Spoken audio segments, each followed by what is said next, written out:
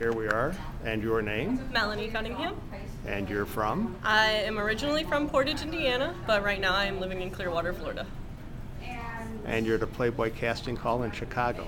Yes. That's a long way from Clearwater, Florida. Yes, my family lives in Indiana still. Okay, so, I'm so you were back- vacation, Oh, Playboy, okay. you know. Ha, What I did on my vacation, I went Yeah. to a Playboy casting call. Exactly. it's Okay. exciting. So, a sports fan? Yes. Any teams in particular? Uh, Chicago White Sox into the Chicago Bears. Okay.